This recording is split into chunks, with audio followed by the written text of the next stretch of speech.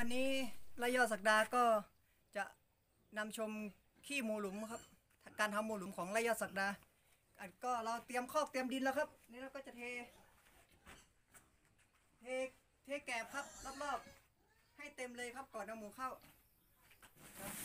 ตัวนี้เราก็นี่ครับลักษณะแกบ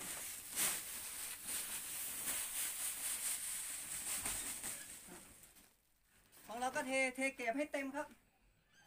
แกบให้เต็ม แล้วก็ใช้น้ำ EM ผสมน้ำราดครับเพื่อในการย่อยสลาย เราแกบเต็มเสร็จปุ๊บเราก็เอาหมูลงครับ เอาหมูลงแล้วก็มาดูจะเป็นลักษณะแบบนี้นะครับครับหมูแล้วก็เอาหมูลง หมูก็ให้อาหารกินเล่นอยู่ตรงนี้ครับ กินนอนเล่นตรงนี้ พอขี้หมูผ่านการเวลาไป แล้วก็ใช้แกบโรยเรื่อยๆครับ ก็จะเป็นลักษณะแบบนี้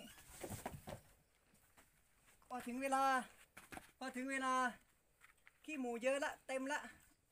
แล้วก็จับหมูขายหรือเอาหมูออกไปหรือย้ายคอกไป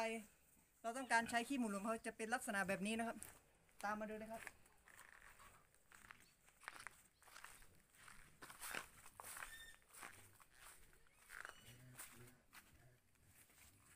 พอเราจะใช้ขี้หมูรวมแล้วก็ลักษณะนี้นะครับแล้วก็ขุดนะครับ ขุดแล้วก็ดำเนินการกรอกใส่ปุ๋ย จะเป็นลักษณะแบบนี้ครับ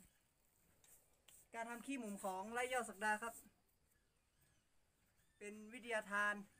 เป็นความรู้เผื่อท่านใดสนใจติดต่อ มาได้ครับ ที่ทางช่อง YouTube ไร่ยอดสักดา